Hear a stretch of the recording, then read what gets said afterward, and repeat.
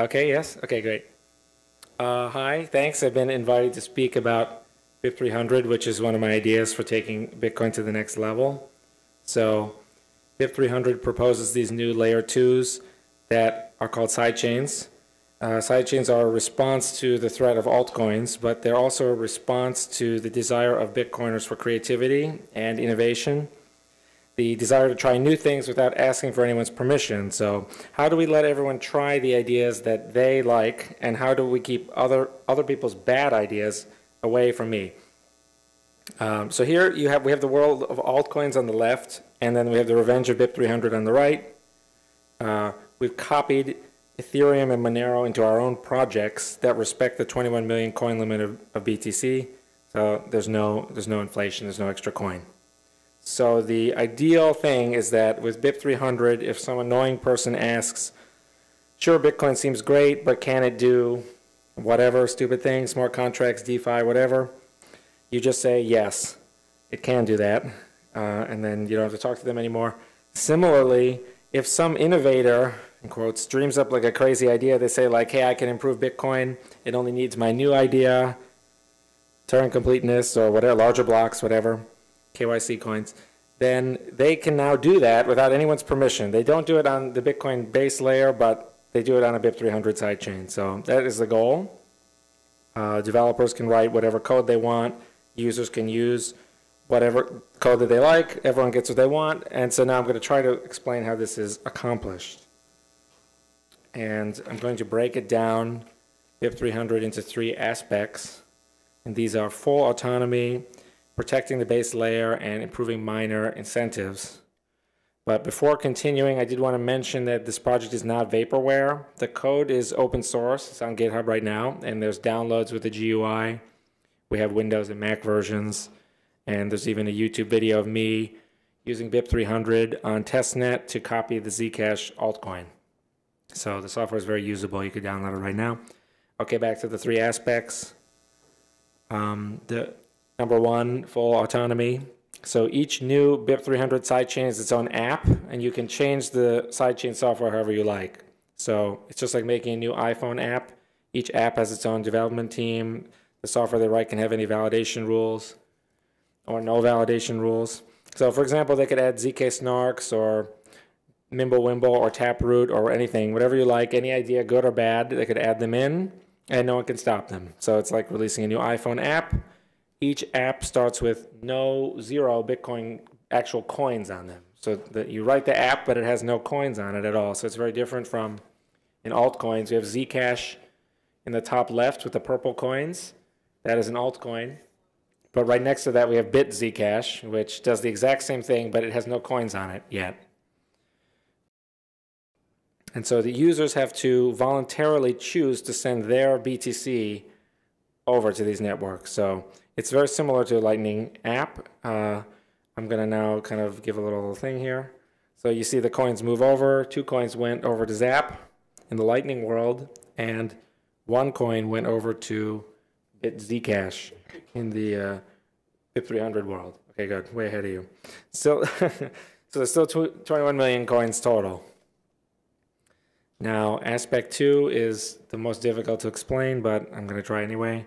The, the base layer, which is Bitcoin Core, or layer one, or the main chain, or whatever you want to call it, your Bitcoin node, it, this is unaffected by problems on the side chains. This is a core part of the design that even under very extreme adversarial conditions where the side chain is experiencing all sorts of chaos, the um, layer one is just going to soldier on and ignore all of that. So the, any drama can just go in one one direction from Bitcoin Core to the upper layers, but it cannot go in, in reverse. So I'm going to try to explain how this is accomplished.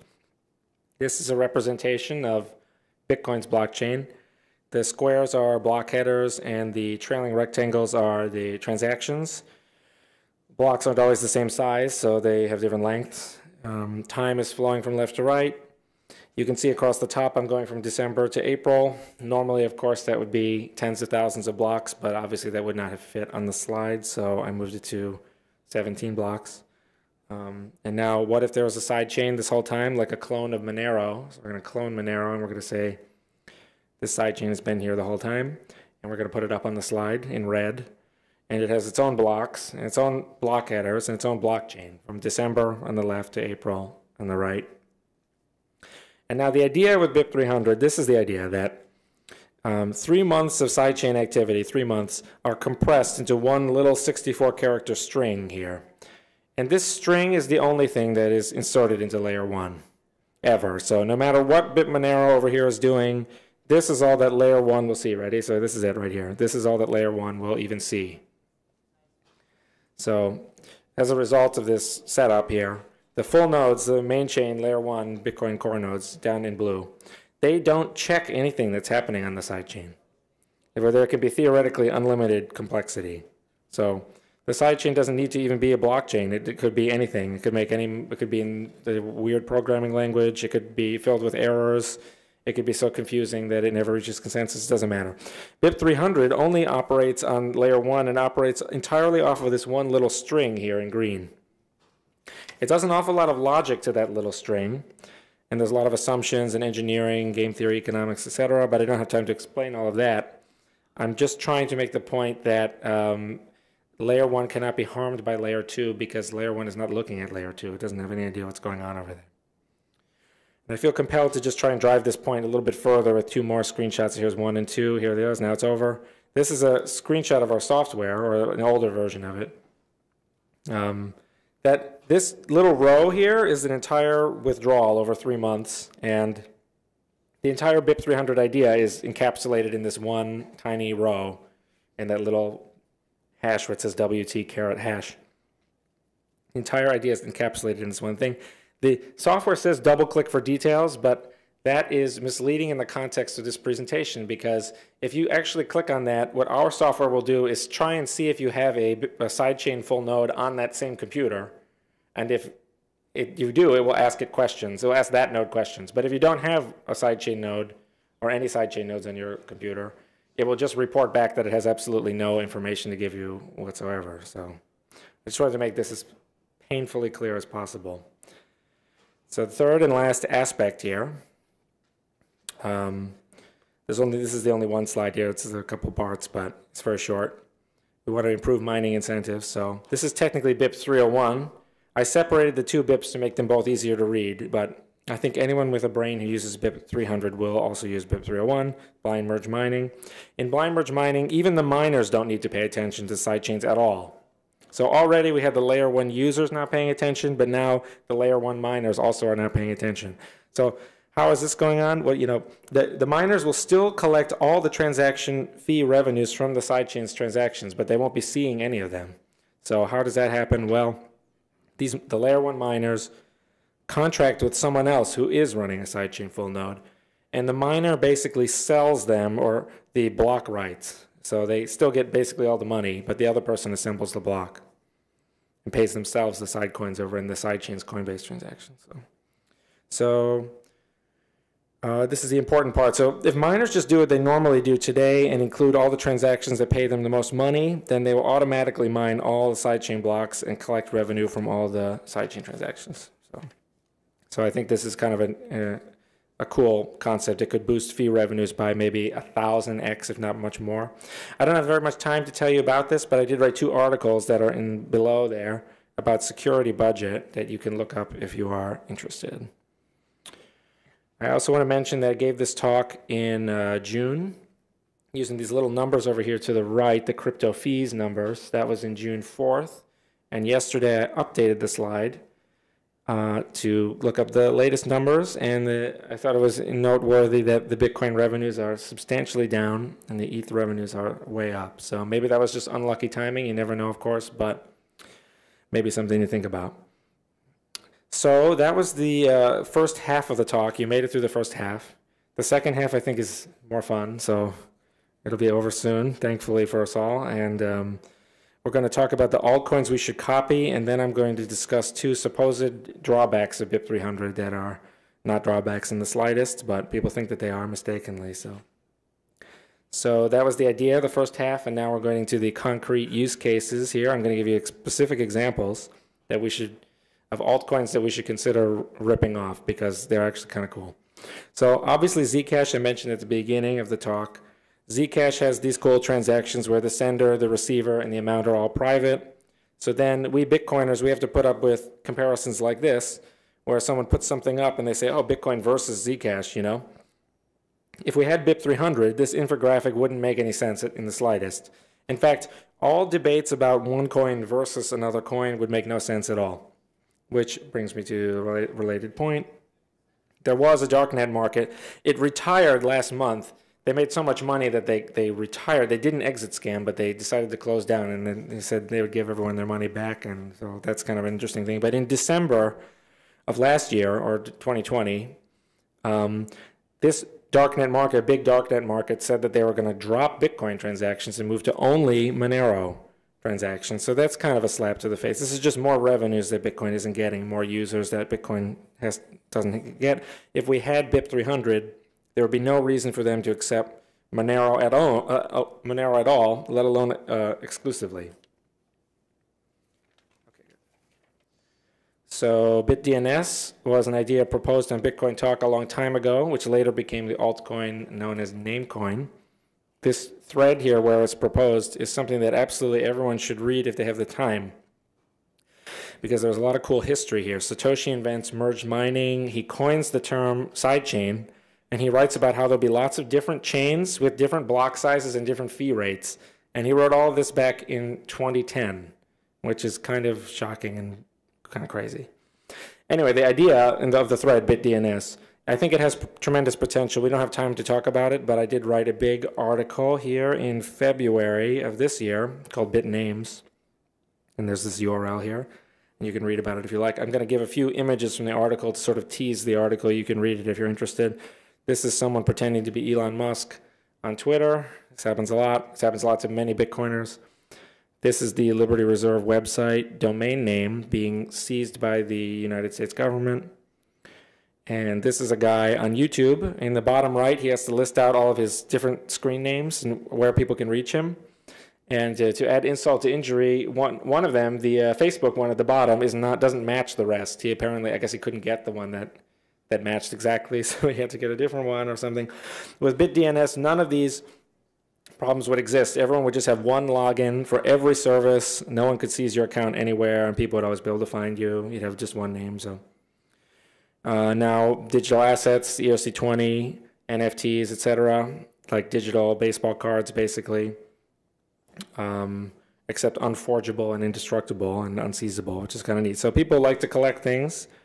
Um, now most NFTs are on Ethereum, which I think is kind of lame, especially because we Bitcoiners we were the ones who created actually all this originally. We started this with like we had counterparty colored coins and all this other stuff. So if we had BIP 300 again, we could have a whole special ERC20 chain or something, and that would domesticate all of this um, competitive energy into Bitcoin instead of having it outside Bitcoin and, and compete against Bitcoin. So this is one of my other projects. BitcoinHiveMind.com. Check it out. It's a prediction markets project. I designed it to be a sidechain from the very beginning. Here I got some screenshots. Again, there's no way I could possibly explain it all, but I can give you cool screenshots. Um, the software does a lot of cool things, but the crowd favorite is Futarchy, which is an idea where you have futures markets on how well certain leaders would perform if they were in charge. And so this idea is obviously very distressing to bad leaders because we can learn about exactly how bad they are going to be before we cast a, a, vote for anyone. So I think this is one of the most important ideas in the whole world, and uh, so it's a big interest of mine. This is David Vorick's project SIA. It's a decentralized peer-to-peer cloud storage um, managed by a blockchain. So he has this altcoin project, but you have a hard drive at home, and a lot of that hard drive space you're not using. You have a bandwidth connection at home. Most of that bandwidth you're not using. So with SIA, you sort of rent it out. SIA has been running for five years. Um, it's very decentralized. The dev team could quit and it would still run. He's got the cost down an order of magnitude below Amazon. If you walk across, you could like walk across a border with nothing, buy a new blank computer, type in your 12 word seed phrase into the software, and it will regenerate your entire file system uh, to that computer. So that's kind of neat.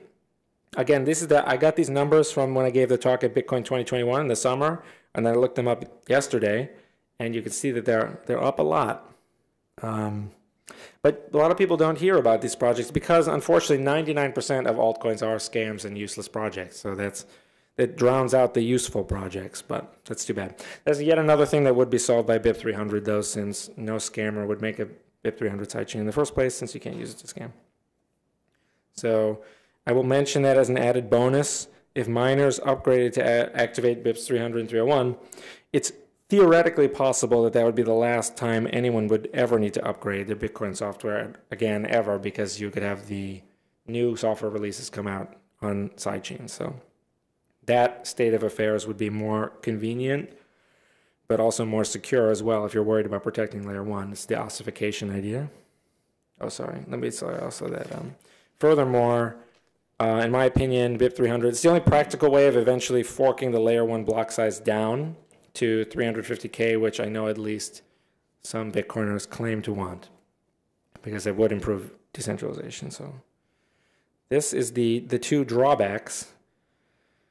uh, so here they are. The first supposed drawback of BIP 300 is that miners can, with a little bit of setup and technical knowledge and effort on their part, and certainly a great deal of patience, Miners can remove all of the coins from a BIP300 sidechain pay those coins to themselves. So here I have a very technical diagram of a miner replacing that little green hash with their own red hash. You can see, you know that it's evil because it's red. The evil miner is going to steal all the coins after three to six months. So this is called the miners can steal problem.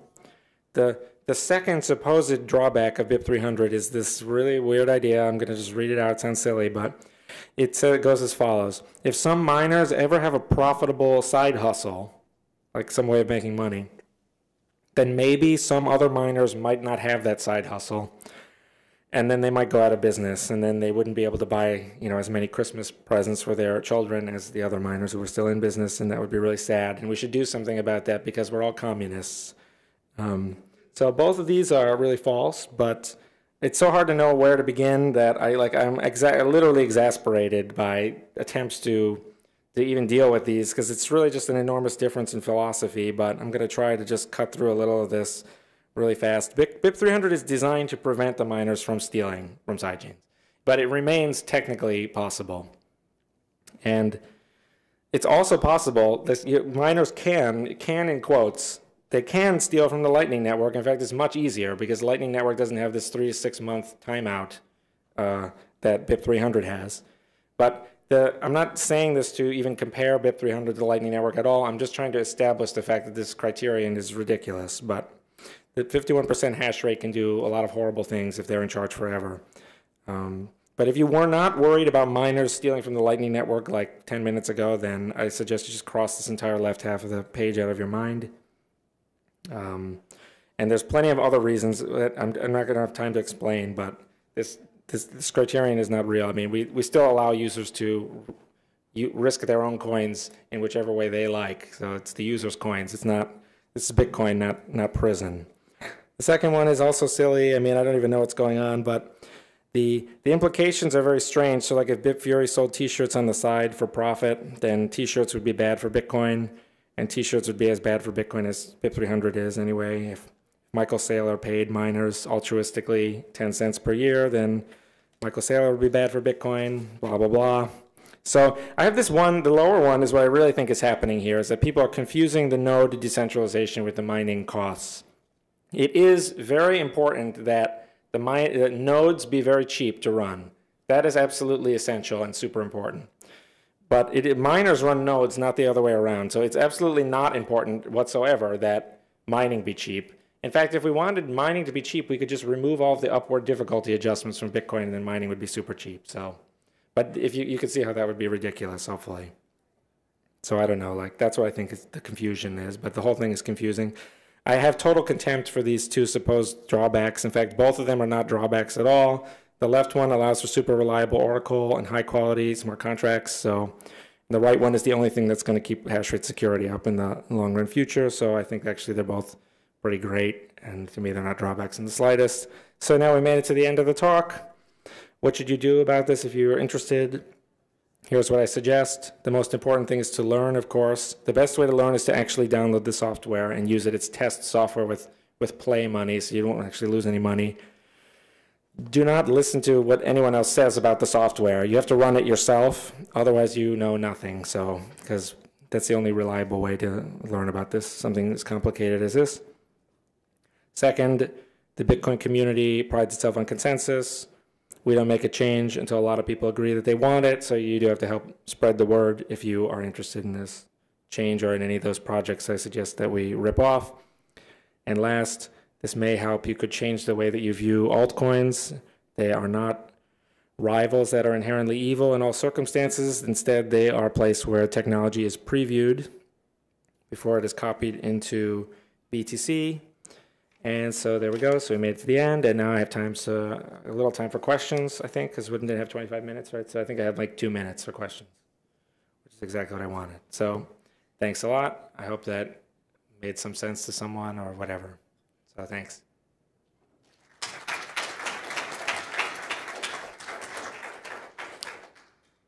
And if you have a question, oh, I think there are microphones, and then you could shout it out also, and I could repeat it.